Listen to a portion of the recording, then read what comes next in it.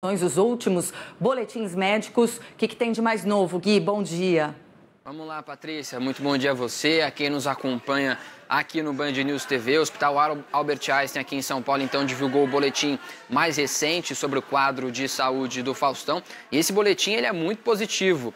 O Faustão foi estubado ontem. O apresentador ele já respira sem ajuda de aparelhos, está consciente, tem boa evolução do quadro clínico. Segundo o boletim médico, ele já chegou a conversar com médicos e familiares.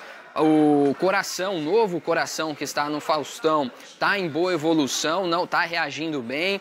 Então o Faustão está melhorando significativamente após o transplante do coração no domingo. Bom, ele segue na UTI por precaução, por segurança da equipe médica que o acompanha. Ele vai seguir ainda por alguns dias na terapia intensiva para acompanhar essa evolução do quadro clínico. Bom, de acordo com o Hospital Albert Einstein, então, o Faustão está consciente e já está conversando. A gente lembra que o Faustão foi submetido a essa cirurgia de coração no domingo e esse órgão que foi colocado agora, esse novo órgão do Faustão, ele era de um homem de 35 anos de Santos, aqui no litoral sul de São Paulo. Patrícia.